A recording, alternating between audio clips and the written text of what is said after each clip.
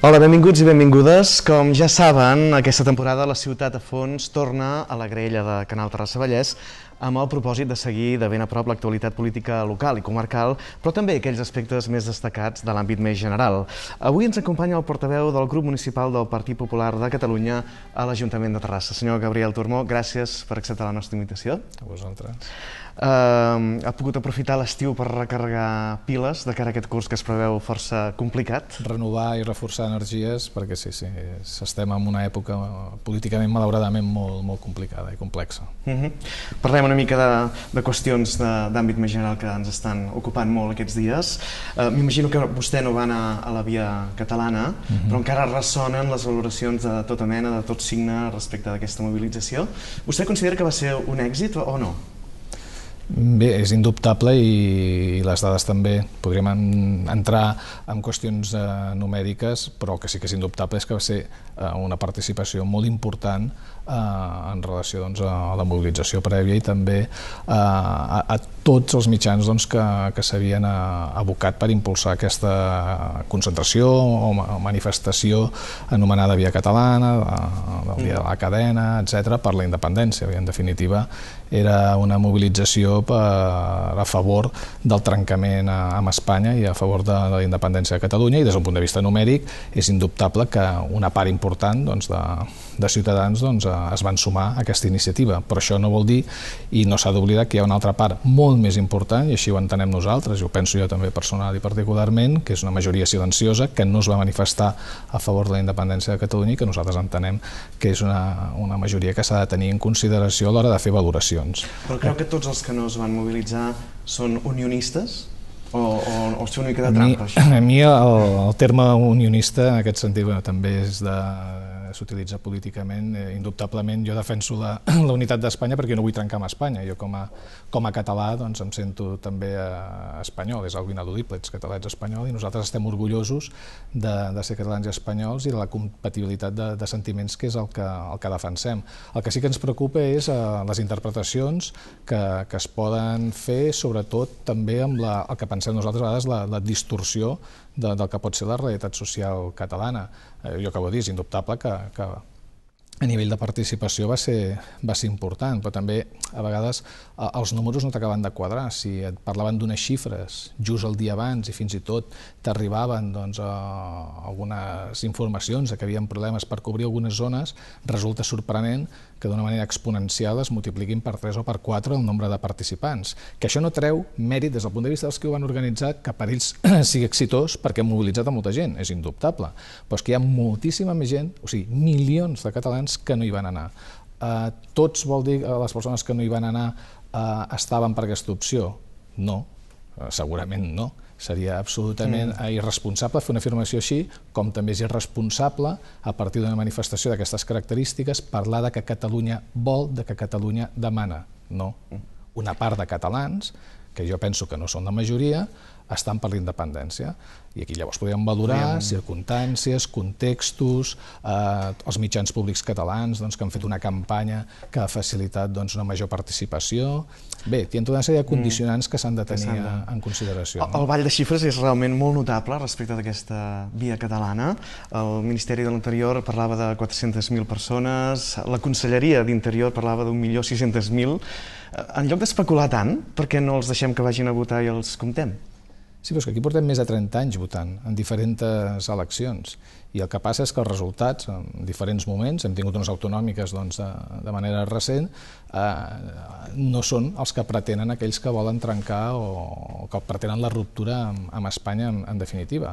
Que l'independentisme socialment doncs, s'ha doncs, anat incrementant els darrers anys, sí, és, és indubtable i també així ho il·lustren les, els resultats electorals però que som majoria a Catalunya? No. Jo penso que és indubtable, i jo ho afirmo, és la meva opinió, que la majoria dels catalans, en diferents nivells, en diferents nivells de vinculació, de sentiment, se senten identificats i volen seguir a Espanya. I les eleccions de més de 30 anys, jo penso que així ho demostren. Fa més de 30 anys que estem votant, eh, en diferents moments, vull dir, jo no des del principi, sinó a partir de vaig ja fa els 18 anys i per tant fa més de 30 anys que la ciutadania ha estat decidint. Eh? Això mm. és una, jo penso una utilització perversa, i ho dic així políticament, eh, uh -huh. la, la, la paraula perversa del dret a decidir. Decidir estem decidint des del dia que es va votar en unes eleccions, siguin del signe que siguin, i per tant hi ha democràcia i hi ha llibertat a Catalunya. Què vol dir que Catalunya vol ser lliure? Catalunya és lliure i a Catalunya hi ha llibertat. I tot això, indubtablement, sí que pensem que s'està fent un ús eh, demagògic, eh, malintencionat i per part de, de, respons de responsables polítics, des del president de la Generalitat, senyor Mas, fins al líder d'Esquerra Republicana. Però miri, el 80% dels eh, diputats del Parlament de Catalunya estan a favor del dret a decidir, que és un debat previ abans del debat sí, sobre si la independència... Això no és a favor de la independència. I fins i tot, eh, segons una enquesta que publicava la Sexta aquest cap de setmana, el 38,5% dels espanyols estarien disposats a autoritzar una consulta a, a Catalunya. És a dir, que no és només el tema de la independència el que està damunt la taula, sinó el de poder-se manifestar sobre una qüestió... És que tornem a insistir de, de, de manifestar-nos i ens estem manifestant a través de, de les diferents eh, eleccions i els moments que, que aquestes es convoquen. Però vostè qüestió, sap que es voten moltes coses en unes eleccions, no només altra qüestió un, un punt tan És l'hipocresia política d'alguna formació política. I aquí sí que eh, separo, i és indubtable que Esquerra Republicana en aquest sentit és coherent, però Convergència i Unió fa molt temps que està jugant a diferents bandes, que s'ha demostrat que políticament són hipòcrites, i així ho dic, i també s'ha demostrat que en un moment determinat i per pura estratègia política política, amb un PSC doncs, absolutament eh, a la deriva i amb una certa eh, crisi o, interna ja des de, des de fa temps, eh, convoca el senyor Mas unes eleccions autonòmiques anticipades esperant que obtindrà un gran resultat a partir d'una interpretació que ell fa d'un altre 11 de setembre.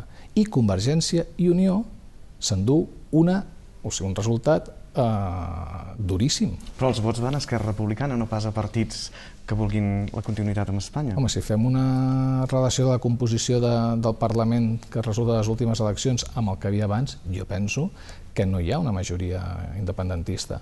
Perquè llavors l'altra qüestió és, vostè mateix ho ha dit, es vota moltes coses. Vostè afirmaria o afirmaria qualsevol responsable polític de Convergència i Unió que totes les persones que voten a Convergència i Unió són independentistes? Segons tots els votants del PSC són independentistes? Tots els mm. votants d'Iniciativa per Catalunya són independentistes? Jo penso que no. Jo penso que socialment hi ha una majoria, i així l'adjectivem silenciosa, que, que costa, això sí que és cert, de, de manifestar-se públicament, que no està pel trencament amb Espanya. Llavors, l'altra qüestió és la concepció. És que fins i tot formacions que defensem de manera molt explícita el projecte comú a Espanya, com Partit Popular, poso l'altre exemple, que seria de la banda de l'esquerra, que, que seria Ciutadans, el concepte fins i tot territorial, l'estructura de l'Estat és diferent. Per això dic que en diferents nivells el sentiment de pertenença a Espanya, de, de participar en un projecte comú, sigui aquest, l'estat de les autonomies o fins i tot eh, aquest model federal que, que defensa el PSC, que eh, aquí sí que en certa manera algun dia s'haurà de parlar de la responsabilitat que té el PSC amb tot el que està passant a Catalunya per la seva indefinició, especialment de cara al seu, al seu electorat, eh, estem per un projecte comú, en diferents nivells. I aquí sí que penso que hi ha una majoria evident, i fins i tot parlaria d'iniciativa, perquè si jo recordo fins i tot en un debat que li preguntava al portaveu d'iniciativa aquí a Terrassa si era independentista, va tardar molt en contestar i va contestar també amb certes evasives. Mm. Vull dir que la qüestió jo penso que no està tan clara. Vostès des del Partit Popular insisteixen que aquest referèndum no és possible perquè la legalitat ho impedeix. No, clar, és que és un referèndum clar, que seria fora de la llei. Deixi'm fer-li un parell de consideracions al respecte. Uh, hi ha molts juristes, fins i tot alguns juristes espanyols, per tant poc sospitosos de catalanistes, que consideren que la Constitució no impediria una consulta d'aquestes característiques. I també li voldria recordar que en el seu moment l'esclavatge era legal. Vull dir que mm, subsumir-ho tot a una qüestió de legalitat potser no, no és el, el, el millor camí en aquest moment de confrontació. Potser caldria una mica més de voluntat política d'arreglar les jo coses. Jo crec que no, no es poden fer comparatives amb, amb èpoques eh, passades on no existia democràcia ni llibertat, com seria el supòsit que em feia referència vostè de, de l'esclavatge. En aquest moment Espanya és un estat de dret amb una Constitució majoritàriament eh, recolzada pel, pel poble espanyol i, per tant, pel poble català eh, i en aquest sentit és el marc legal del que ens hem dotat. Hi ha unes regles del joc, són unes regles del joc democràtiques i que es poden evidentment canviar i es poden canviar a partir de majories. En aquest moment la majoria del Congrés dels Diputats és del Partit Popular. Potser amb una altra majoria doncs, es podrien impulsar doncs, reformes que nosaltres en aquest sentit no, no és que no compartim, sinó que entenem que no, són, que no són necessàries. Evidentment les lleis i les normes també són interpretables i hi ha opinions de juristes de, diverses. Mm. Uh, seria possible un referèndum a nivell de tota Espanya sobre la qüestió de la independència de, de Catalunya? Sí, perquè la sobirania, la sobirania resideix en el poble espanyol.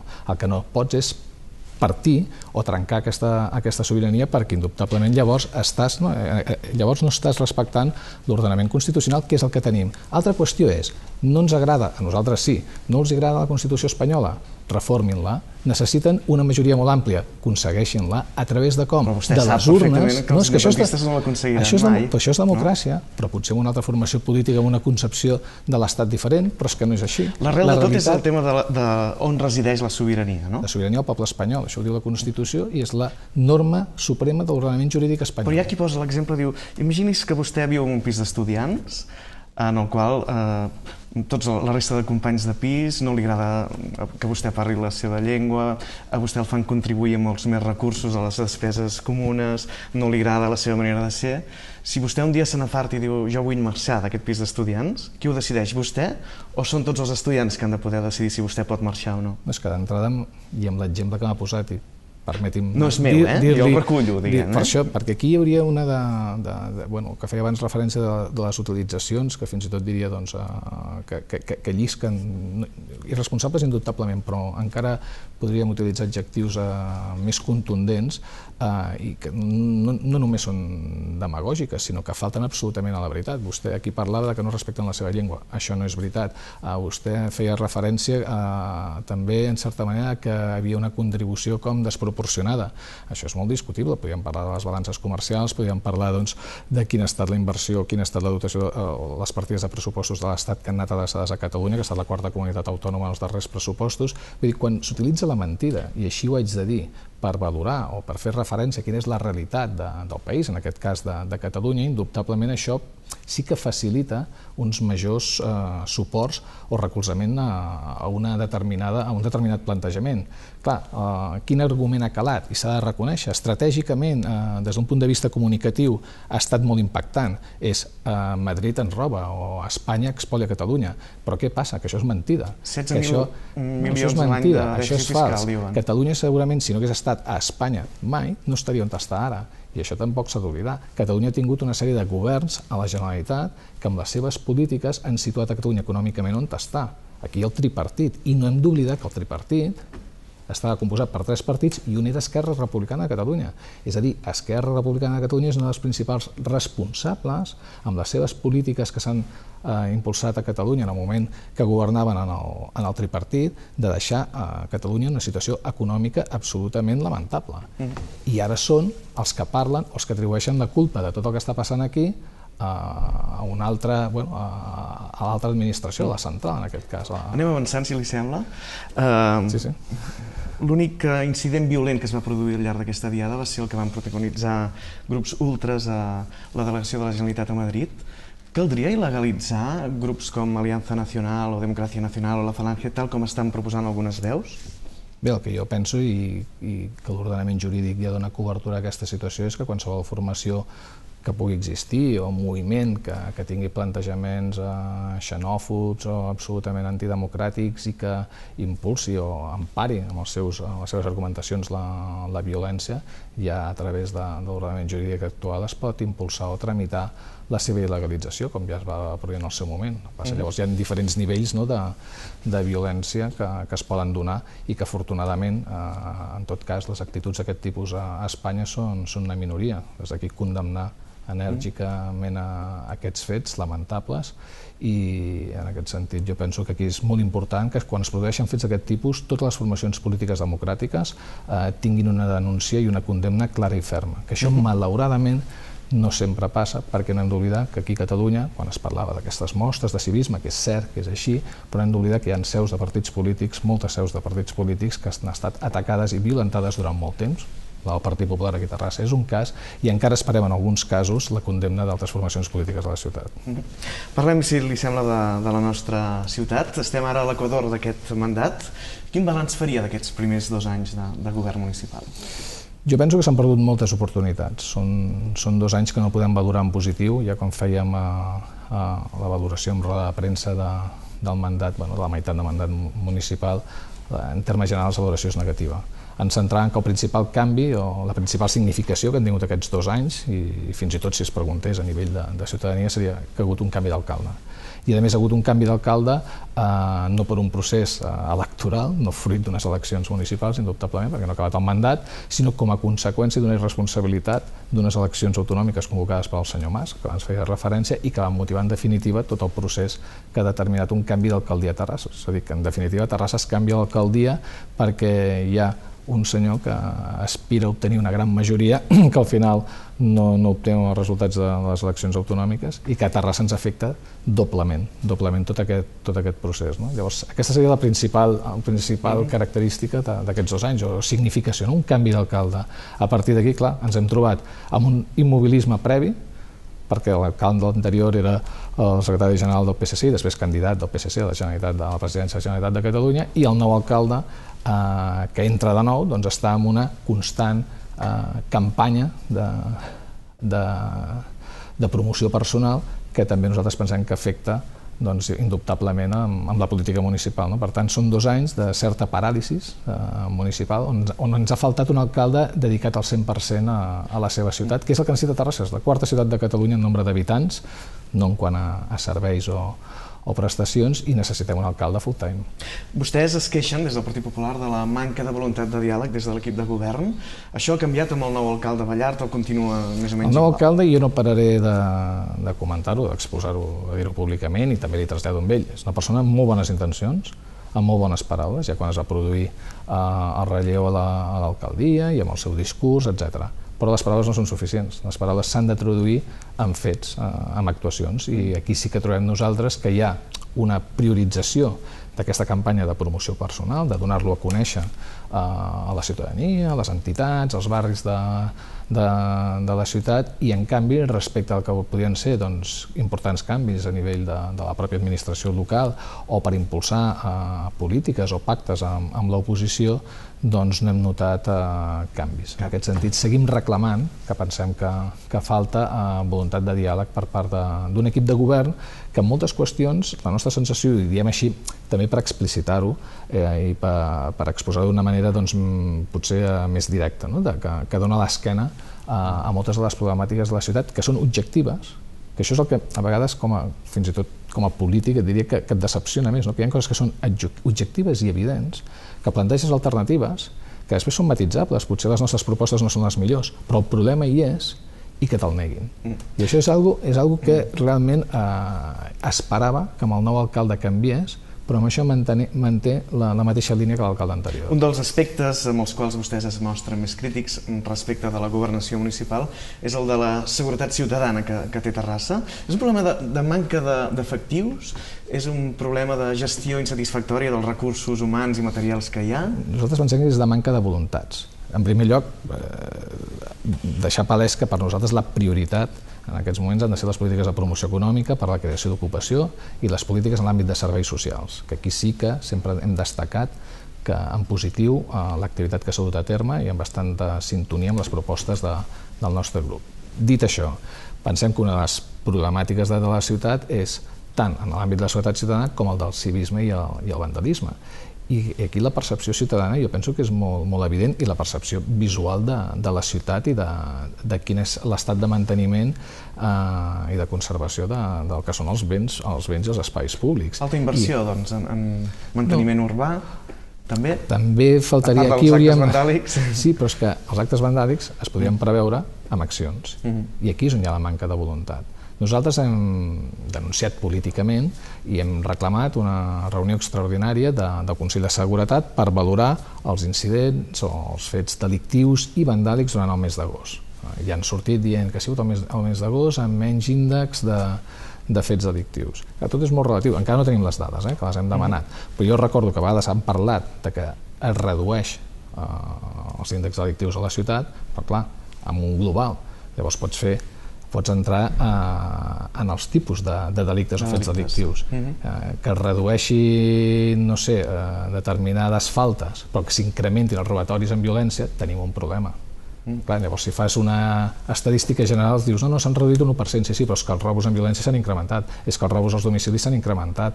Clar, Llavors, aquí és el, el que et comentava abans, que hi ha dades, hi ha evidències que no volen acceptar i quan fins i tot no se'ls està dient que sigui la seva responsabilitat, indubtablement. El que estem dient és, hi ha una evidència, posem-hi mitjans, disposem d'un cos de policia municipal, doncs fem que estigui més present a la via pública.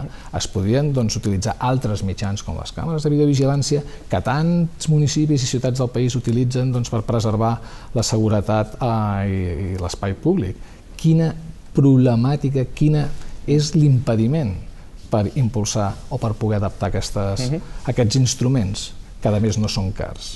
Ens queden 5 minuts de programa i moltes qüestions que li voldríem formular. Uh, per exemple, sobre mobilitat. Aquesta és una qüestió que acostuma a ser... Una altra de les problemàtiques de la ciutat. Clàssica, aquesta és ben clàssica.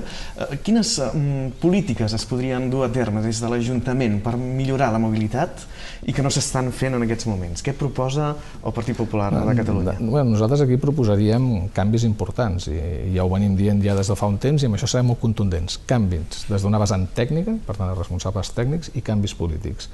A Terrassa es produeix una circumstància molt excepcional i és que tenim un pla de mobilitat que planteja i proposa una, una xarxa viària bàsica, que és la que hauria d'haver possibilitat doncs, a una bona distribució del trànsit i la capacitat d'absorció del tràfic que, hi ha a la ciutat i evitar doncs, també situacions d'embussos eh, que no s'ha desenvolupat. Aquesta proposta de xarxa viària no, bàsica que així ho diuen, el propi plan no s'ha desenvolupat, dues rondes funcionals, un sistema de traces verticals i horitzontals, bueno, etc per no, per no allargar-me, i no havent-se desenvolupat sí que han pres tota una sèrie de mesures que requerien d'aquesta xarxa viària bàsica que estigués en funcionament per la bona distribució del tràfic. I un exemple és la Rambla i la prohibició de circulació de vehicles privats per la Rambla. És indubtable que tots volem una Rambla eh, que és com... Més humana, com, no? Sí, Més... per la ciutat mm, i que sí, es pugui sí. passejar, etc. Però clar, elimines un eix que era fonamental de distribució del trànsit i no dones alternatives. Aquest és un exemple. Eh? Llavors nosaltres què diem? Flexibilitzem aquesta prohibició ja ens diuen de tot, no? Està, vostès no volen, estan en contra del transport públic, no, no, nosaltres estem a favor del transport públic, estem a favor de promocionar el transport públic, de promocionar els mitjans alternatius al vehicle privat, però és que tenim més de 100.000 vehicles privats a la ciutat. Aquesta és la realitat, és el que li deia, aquesta és la dada objectiva, gestionem-la. El que no pot ser, la zona blava, que seria un altre exemple, uh -huh. és que tinguem zones blaves buides. Amb si estan, ocupació, no? Si estan buides és que uh -huh. no funcionen. Uh -huh. Llavors et diuen, no, és que vostè el que, el que llavors faria és saturar si treu la zona blava. És que no estem dient això. Estem dient, revisem, potser haurien de ser uns altres horaris, potser haurien de ser unes altres tarifes, potser els preus són massa cars per la situació de crisi econòmica. Revisem la zona blava. És que ni accepten l'opció de revisar. Mm. Llavors són molt lineals i molt autòmates, i així ho haig de dir, amb les aplicació de les polítiques de mobilitat. El vehicle privat és l'enemic, conceptualment, i es tracta d'impossibilitar i de fer el més difícil possible eh, la circulació del vehicle privat. És en, en certa manera la, la, la concepció que tenen. No? Posem dificultats al vehicle privat. El que nosaltres apostem és per posem alternatives al vehicle privat i respecte als que tenim intentem-ho gestionar d'una manera eh, amb sentit comú. Vostès eh, van decidir renunciar a la seva presència al Consell d'Administració de Somotesa, que és el, la Societat Municipal d'Habitatge de, de Terrassa. Renunciar. Estàvem i sí, vam sortir. Vam sortir. Uh, per què van prendre aquesta, aquesta decisió? Bé, perquè en el moment que corresponia per tramitació l'aprovació de, de les comptes, la formulació de comptes i aprovació de les comptes, l'informe que vam tenir d'auditors en aquell moment eh, exposava una situació realment d'una eh, gravetat des del punt de vista econòmic i de viabilitat de, de la societat que a nosaltres ens va preocupar enormement i que a més arrossegava doncs, tota una sèrie ja de reunions prèvies que s'havien tingut sobre quines accions s'havien de dur a terme doncs, per, per buscar la, la viabilitat de, de l'empresa i la seva continuïtat i unes respostes que no s'ajustaven o que per nosaltres no eren suficients per tranquil·litzar eh, des del punt de vista de seguir pertanyent al Consell d'Administració la, la, la, situació. No? Però no és Llavors, millor ser-hi a dintre per poder-ho canviar moltes vegades? Miri, jo aquí personalment, eh, jo estic un Consell d'Administració i aquesta és una ja, opinió més personal més. meva, mm. que no pots prendre decisions sí que votes en el Consell d'Administració, però no estàs gestionant la societat i no pots aplicar aquelles polítiques per gestionar la societat, eh, jo penso que no... Altra cosa és tenir la informació, però que no és, no és convenient, perquè tu no estàs gestionant la societat. Ara sí, si la societat va malament, llavors, i aquí l'exemple he tingut amb algunes declaracions que ha fet algun representant de, del PSC, de no, no, és que érem tots, no, no, tots no, escolti'm, Aquí qui ha aplicat les polítiques d'habitatge, amb una majoria que tenen en el ple, evidentment, i mm. absolutament legítimes, són les que s'han aprovat en el ple de l'Ajuntament per la majoria que, que ha governat en cada moment i que ha estat sempre al, al PSC, però no mm. busquin aquí una, com una complicitat de tots, perquè nosaltres hem estat crítics, vam demanar al seu moment un canvi en les polítiques d'habitatge i quan la societat, doncs, indubtablement, uns números molt, molt complicats, per expressar d'una manera, la situació és molt, molt, molt delicada, eh, és indubtable que sí que s'estan intentant prendre mesures, però pensem nosaltres que no són les adequades i que no val tot a qualsevol cost. És a dir, estem per polítiques d'habitatge a nivell de ciutat? Indubtablement, però aquí hi ha un cost un cost de milions d'euros que pot tenir tot plegat per, per la ciutat i el que nosaltres volem és que les mesures que es prenguin siguin aquelles que tinguin el mínim cost possible per tots els ciutadans. I pensem que les actuacions que s'estan fent no van en aquesta línia però és la nostra opinió, indubtablement. Molt bé, doncs ho anirem seguint amb atenció també, com és lògic, des de Canal Terrassa Vallès. Li agraïm moltíssim, senyor Turmó, que ens hagi acompanyat i que hagi volgut compartir amb nosaltres les seves reflexions. L'agraïment és Fins una altra ocasió. I a tots vostès també moltíssimes gràcies per la seva atenció.